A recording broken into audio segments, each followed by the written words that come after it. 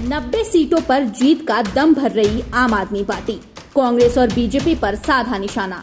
जी हाँ, आपको बता दें कि छत्तीसगढ़ में साल के अंत तक विधानसभा चुनाव होने हैं। सभी दलों के नेताओं के बीच कई मुद्दों को लेकर आरोप प्रत्यारोप का दौर शुरू हो गया है।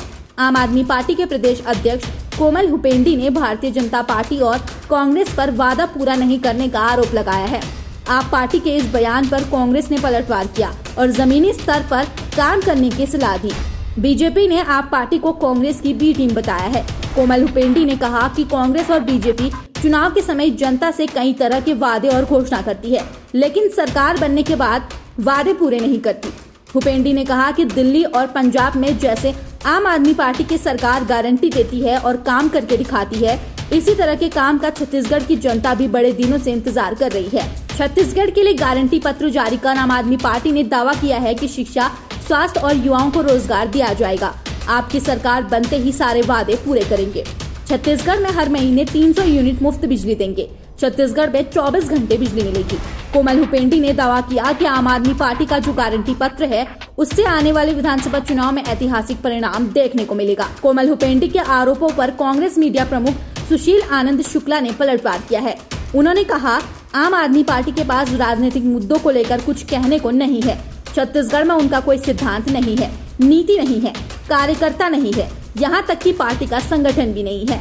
आपके नेताओं और कार्यकर्ताओं को मैं आमंत्रित करता हूँ। यदि वह नहीं आना चाहते तो वह अपने घर का पता लिख कर भेज दे, जिसमें हम उन्हें कांग्रेस की पूरी हुई घोषणाएँ लिख कर भेजेंगे।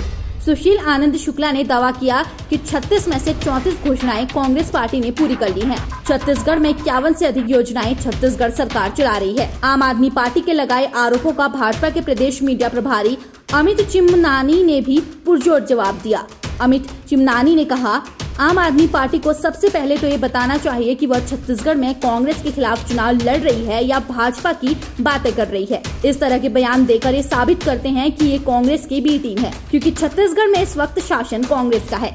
सवाल कांग्रेस पार्टी से होना चाहिए, लेकिन सवाल बीजेपी पर उठाकर आम आदमी पार्टी ने ये साबित कर दिया है। प्रदेश में कांग्रेस और बीजेपी के साथ अब आम आदमी पार्टी भी चुनावी मैदान में उतर गई है।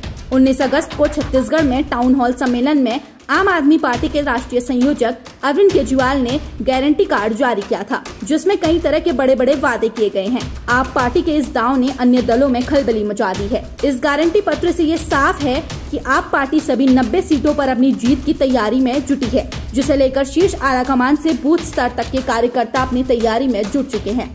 फ़िलहाल आप इस खबर के बारे में क्या सोचते और समझते हैं, हमें कमेंट करके ज़रूर बताइए। न्यूज़ डेस्क ऐसी प्रिया।